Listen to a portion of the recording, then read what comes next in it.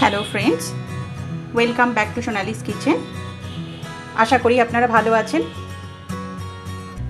আজ আমি আপনাদের একটা নতুন রেসিপি করে দেখাবো। সেটা হলো সয়াবিন দিয়ে বাসন্তী পোলাও।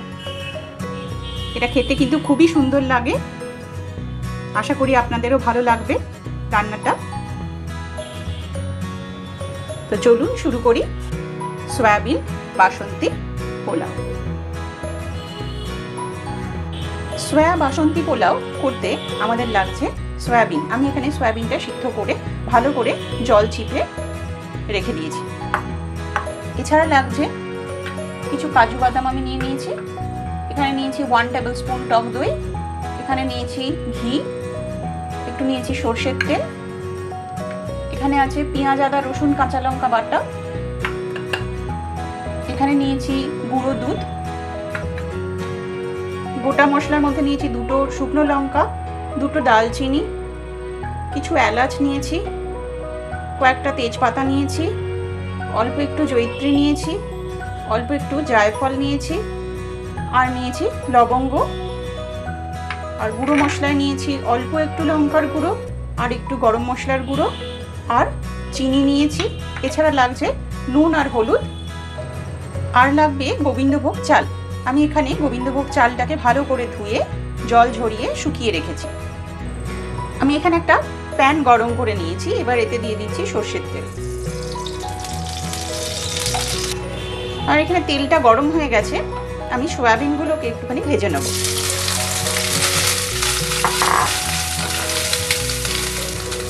সামান্য একটু নুন দিয়ে দেবো আমি।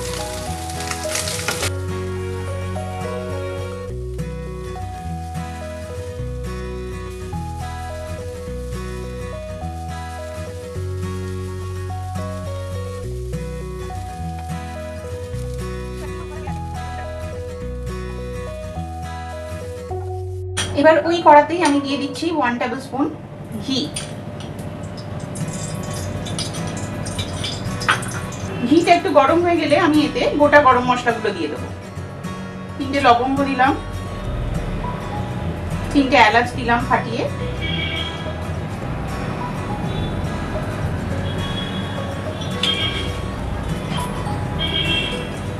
দালচিনিটা দিলাম।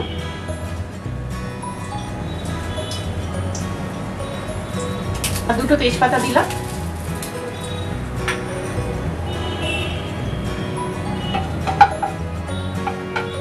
একটু ভাজা ভাজা হলে সুন্দর গন্ধ বেরোলে আমি এর মধ্যে দিয়ে দেবো এই পেঁয়াজ, আদা, রসুনের পেস্টটা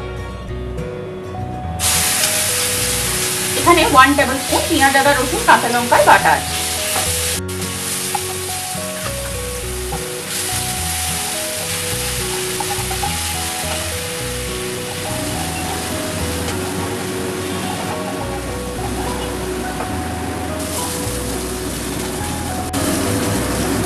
একটু ভাজা ভাজা হলে আমি এতে দিয়ে দেবো সামনে একটু জল।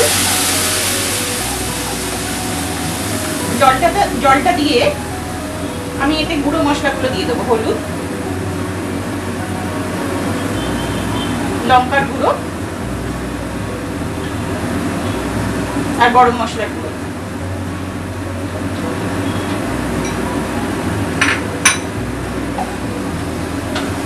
দিয়ে আমি আরেকটু কষিয়ে নেব।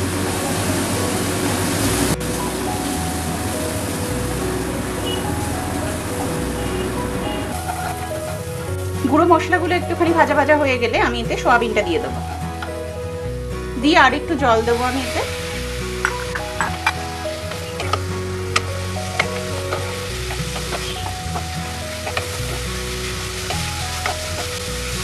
আর দিয়ে দেবো আঁচটা কমিয়ে ওয়ান টেবিল স্পুন ফ্যাটানো দই।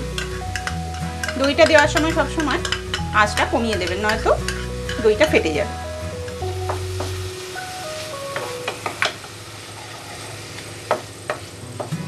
আর এতে আমি একটু দিয়ে দেবো সামান্য চিনি। আর দেব সামান্য নুন। বেশি দেব না, কারণ সয়াবিনটা ভাজার সময় তো আমি একটু নুন দিয়েছি।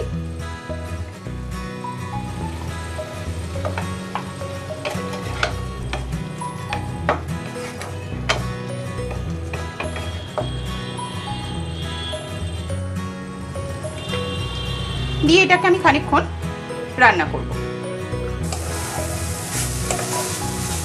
আমার এখানে সয়াবিনটা হয়ে গেছে, আমি গ্যাস বন্ধ করে দিয়েছি তারপর বাটিতে তুলে নেব।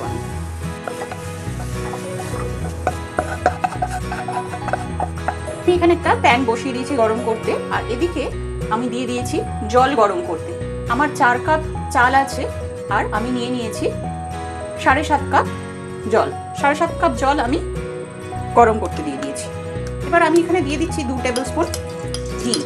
ঘিটা গরম হয়ে গেলে আমি সব গোটা গরম মশলাগুলো দিয়ে দেবো। চারটে এলাচ, চার পাঁচটা লবঙ্গ, দুটো তেজপাতা আমি দিয়ে দিয়েছি ফাটন ছিঁড়ে, দালচিনি, দুটো শুকনো লঙ্কা, সামান্য ফাটিয়ে নিয়েছি, আর জৈত্রী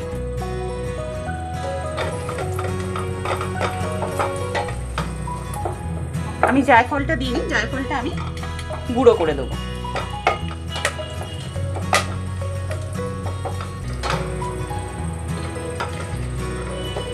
মশলাগুলো একটু ভাজা ভাজা হয়ে গেলে একটু সুন্দর গন্ধ বেরোলে আমি এতে দিয়ে দিচ্ছি কাজু বাদাম।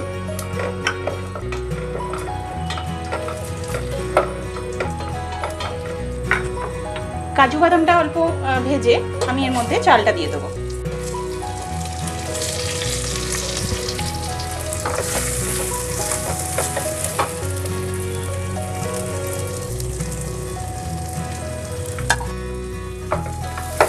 দিয়ে চালটা আমি কিছুক্ষণ ভাজবো।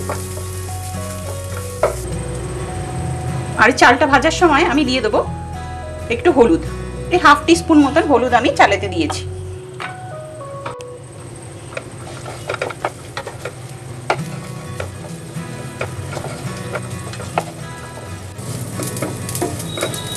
এখানে আমার চালটা ভাজা ভাজা হয়ে গেছে। আমি এখানে জায়ফলটাও গুঁড়ো করে নিয়েছি, এটাও দিয়ে দিলাম।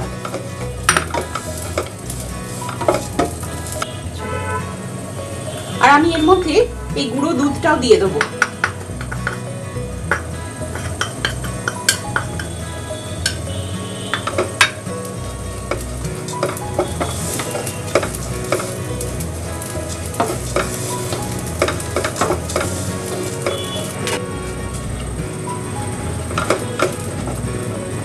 দুধটা ভালো করে চালের সাথে মিক্স করে দেওয়ার পরে আমি এতে দিয়ে দিচ্ছি গরম জলটা। মানে জলটা আমার ফুটে গিয়েছিল।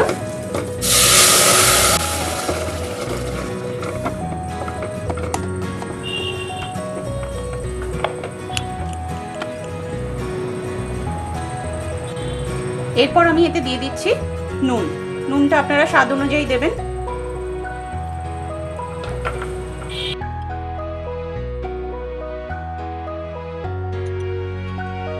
এটা ভালো করে ফুটে উঠলে আমি এটা আঁচ কমিয়ে দিচ্ছি। কমিয়ে দিয়ে ঢাকা দিয়ে এটাকে দশ মিনিট কুক করব।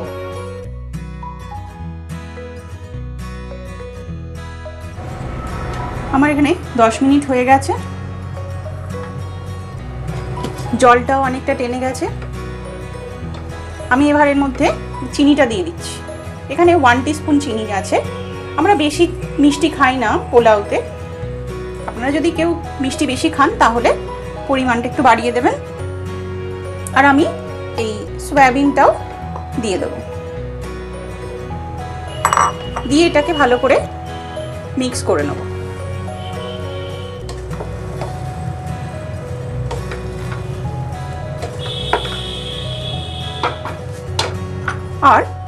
শেষে আমি দিয়ে দেবো ওয়ান টেবিল স্পুন ঘি।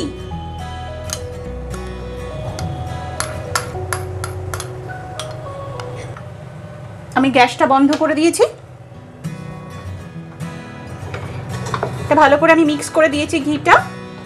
দিয়ে আমি এটা ঢাকা দিয়ে আরও কিছুক্ষণ পাঁচ মিনিট ঢাকা দিয়ে রেখে দেবো। আঁচটা বন্ধ করে দিয়েছি আমি। তাহলে বাকি যেটুকুনি বাকি আছে, সেটুকুনিও কুক হয়ে যাবে। পাঁচ মিনিট পরে ফিরে এসছি। দেখুন, একদম ঝরঝরে হয়ে গেছে ভাতটা। চালের সাথে জলের পরিমাণটা যদি ঠিক থাকে, তাহলে কিন্তু সুন্দর এরকম ঝরঝরে একদম পোলাও তৈরি হবে। তো আমি এবার এটাকে প্লেটে সার্ভ করে নেব।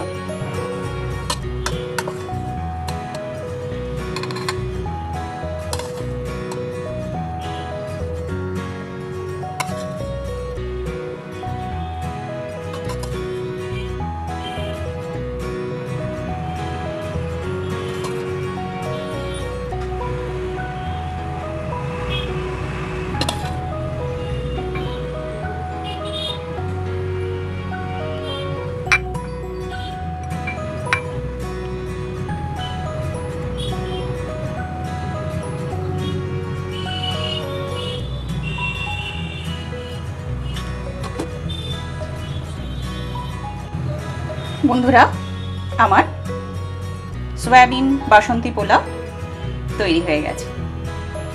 আপনারাও বাড়িতে বানাবেন, কেমন হলো কমেন্ট করে আমাকে জানাবেন। ভিডিওটা দেখার জন্য অসংখ্য ধন্যবাদ।